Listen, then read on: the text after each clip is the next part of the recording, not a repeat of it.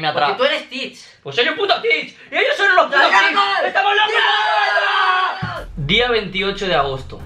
Presentación de Dembélé. Os prometo que el día de ayer fue el primer día, espero que no sea el último porque esto solo acaba de empezar, que me di cuenta de la cantidad de gente que hay detrás de esto, que nos sigue. Y en serio, fue, fue una, fue una puta locura lo de ayer, no, no, fue, no fue ni medio normal. Por cierto, antes de empezar, en estos últimos días he estado un poco inactivo, pero también han pasado muchas cosas locas. Una de ellas es que me hice un tatuaje con unos colegas, el cual si queréis os lo enseñaré y os explicaré qué es el tatuaje y por qué y qué significa. Y otra de ellas es que para que el tatuaje quede bien me tuve que depilar las piernas enteras. Y la verdad, me dolió mucho. Sobre todo, cuidado con este brazo y con esto, sobre todo. ¿Qué pone aquí, papá? Dios. Dios con el 10 de Messi, el juego del Barça, aquí el 14 de Cruyff. No está mal. Lo más grande. Dale caña ahí, mira. ahí duele, ahí duele, ahí la duele. Dale caña, dale caña, que viene el careto del hombre. El careto del hombre, mira.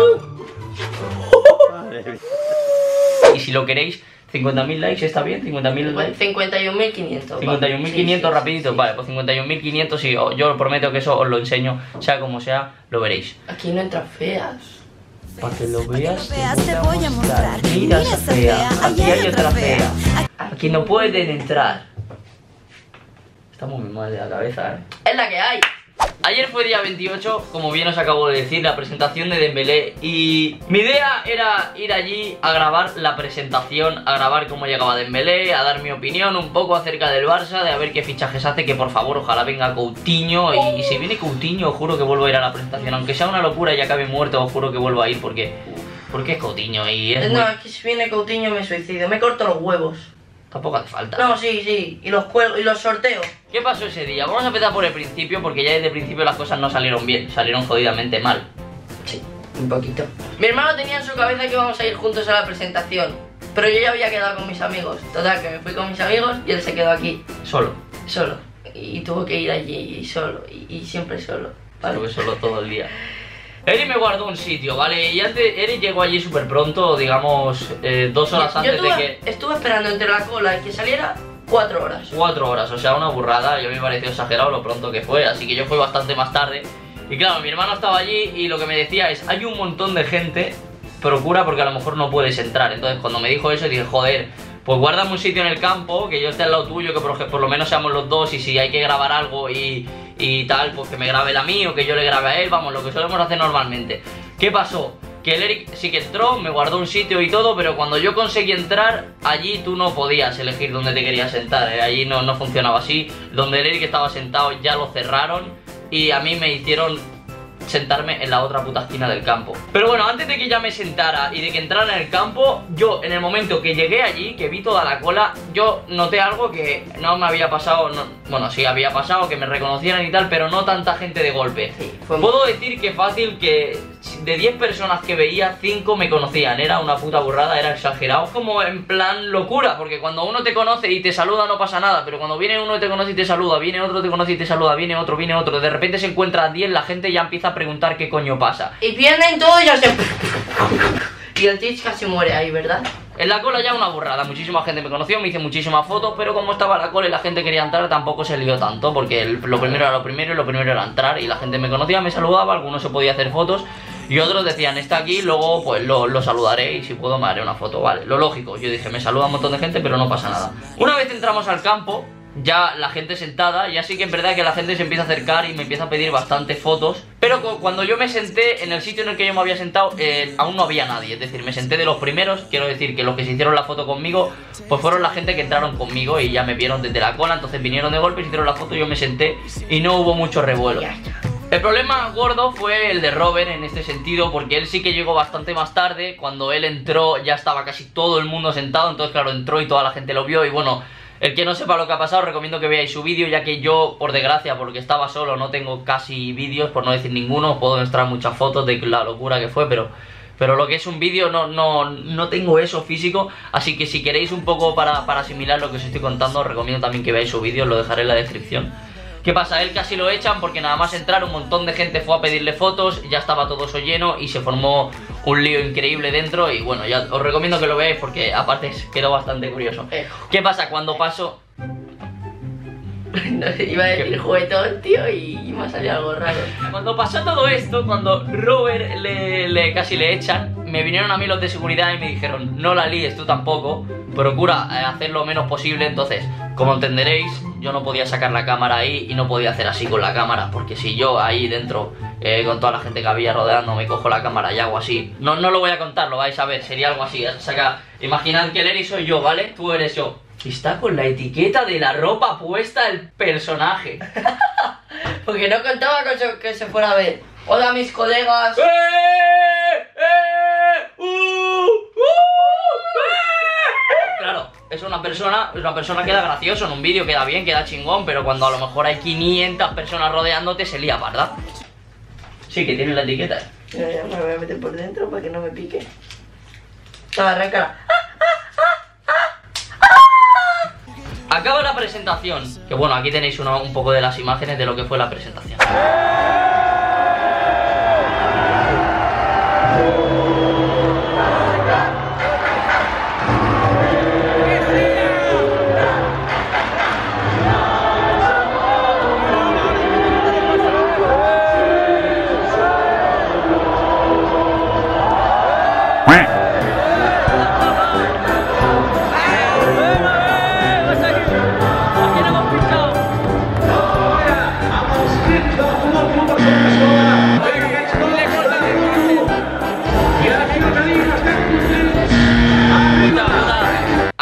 Eso, ya la gente, el único objetivo, la gente que no me haya podido saludar, era venir y pedirme una foto. Dentro del campo, literal, ya me tiré 15, 20 minutos haciéndome fotos, pero no en plan fotos tranquilos, una colita, no, no. En medio de las escaleras del Barça, imaginaos un campo, pues bueno, en bajada, yo ahí en medio y toda la gente, fotos, fotos, fotos, fotos, fotos de dos en dos, de tres en tres, una locura, me tiré como 15 minutos. Yo pensaba que si ahí me hacía muchas fotos, al salir ya no habría tanta gente porque había pasado 20 minutos y ya pensaba pues que eso se había vaciado un poco y que no iba a ser tan heavy. Suerte. Pero no fue así. No fue así. Mi salida fue en plan, yo veía que se venía la gente a saco, a saco, a saco. Y el de seguridad me echó. Me- o sea, me echó, me cogió y dijo, fuera, aquí la estás liando. Y... ¿Te echó fuera? O sea, me estás todo, diciendo... fuera, todo, todo, no, no, pongáis ahí, no os pongáis ahí, fuera, fuera, Vale, fuera. Fue en plan de que no sabía qué es lo que estaba pasando. Claro, en plan de y- que no sabía. y- y porque ya estaba yo pensando, si el de seguridad ve que un niño de 15 años tiene como 100 personas rodeándote y lo que dice es vete fuera y que te maten, me cago en el árbol genealógico del de Fue en plan, fuera muy bestia, o sea, había gente esperando. Es Me hago fotos, no sé qué, me hago fotos y veo que se empieza a liar. Si es que se formó la gozadera. Hermano, venía Peña. Y se fue, pero se fue de las manos. Mira, esta es una foto del principio. Aquí, que hay 30 personas, no hay muchas. Luego vinieron muchas, muchas. No sé el número. ¿Y qué pero muchas. Correr, pero correr. Que me salté dos semáforos. Correr mucho. Y claro, yo salí y había como 100, como 100 chavales ya esperándome fuera una burrada. Y claro, nada más salir, ya me, me empezaron a encerrar y yo al principio decía, bueno, son 100 personas, eh, uno a uno, eh, aunque me aprieten mucho, me hago 100 fotos rápido y se, y se olvida y se limpia todo esto. Claro, fue un pensamiento muy erróneo, porque es lo que os digo, se empieza a aglomerar la gente, al principio eran 100, luego otros escuchan buller, buller, se juntan otros 100, luego empiezan a llegar los guiris, que no tienen ni puta idea quién soy, no tienen ni puta idea qui- qué está pasando, pero se acercan y encima, ¡no! No se acercan en plan de, ¡eh, mira ese No, chico! te- te cogen, te no, cogen. no se acercan en plan de, ¡eh, mira ese chico es conocido, voy a ponerme aquí! Claro, a mí tampoco me hace tanta ilusión, pero bueno, si, el chaval puede, me haré una foto con él. ¡No! Eh, niños pequeños, que esto es una cosa que ahora os voy a explicar y no me gustó un pelo, pero niños pequeños aquí agobiados en medio mío, pensar que en ese momento había 200 personas aplastándome así. Niños pequeños ahí y de repente te viene el guiri con toda su polla y hace... ¡Eh, eh, please, please, please, please! ¡Eh! La verdad que gente, la gente está fatal. Eh, ayer me di cuenta de la cantidad de gente que me conoce, la cantidad de gente que me sigue, porque es una burrada. Segundo, estamos muy locos, los tics estamos jodidamente locos de la cabeza. Se nos va muchísimo. Entiendo que muchos queráis verme y a mí me mola, en serio, me encanta ver cómo, cómo os ponéis hasta nerviosos y tal, porque al final no dejo de ser un chaval como vosotros, pero, pero con mole lo que hago y os haga ilusión haceros una foto conmigo, me encanta. Y que, y que tanta gente pensara igual me pareció increíble. Pero tengo que decir una cosa. Se os va de, se os va de las Sí, manos. os Se os va de las manos. Y no, y no porque me apretéis a mí y porque yo me quede encerrado. Eso me da igual, porque, Porque al final es lo que me toca, que si, si todo el mundo quiere fotos conmigo, soy el primero que se va a hacer fotos con todo el mundo. Pero eh, eh, llegó un punto que eso era una puta locura. Sin exagerar, había como 500 personas rodeándome, una locura. Yo no veía salida, solo, solo miraba y veía cámaras en mi cara. Estaba muy nervioso porque no solo estaba yo presionado, no, o sea, estaba yo en medio, yo respiraba y no respiraba aire, respiraba vuestro sudor. No era higiénico. Ya, ya. No era higiénico. Y aparte de eso, había niños pequeños. Había niños pequeños al lado mío, los cuales estaban siendo apretados igual que yo. Y, y me sentí mal, me sentí mal porque yo decía, por favor, abriros que hay niños pequeños. Y a la gente le daba igual. O sea, daba igual, sois unos cabrones, estáis muy locos de la cabeza. Me Porque atrás. tú eres Stitch. Pues un puto. ¡Y ellos son unos putos Stitch! ¡Estamos locos! Me vino el de seguridad, me cogió el de seguridad. Yo pensaba que a mí me iban a arrestar o algo, porque ya os juro que es que da bastante miedo. O sea, que un pavo de seguridad te coja, ¿dónde vas, chaval? Ven aquí. ¿Así? ¿Con Sí, esa así. agresividad? Eh, peor fue, hubo un chaval que casi me arranca la camiseta.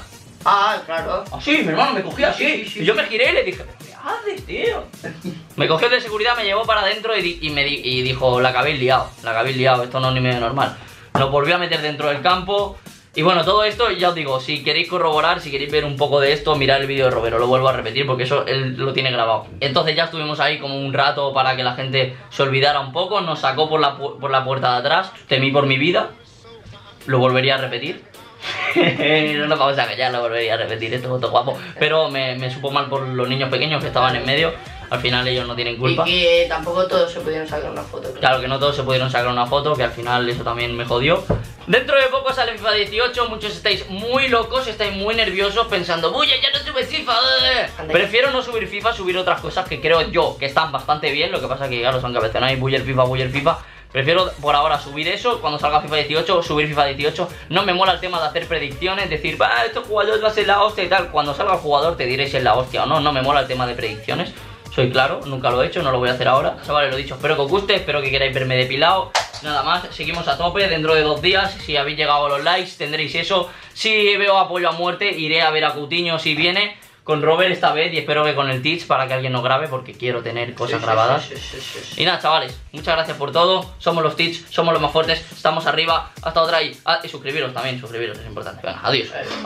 Vengo con Buller, tú no lo dudes cuando algo sube El típico que marca gol porque nadie lo cubre Es ácido insoluble que hace que todo carbure En el food draft dura más que llevar condones dures Como cortar con tu ex Aunque si ves esto te reirás un mes Colegas de internet y no por interés Compararte con él es como comparar el FIFA con el PES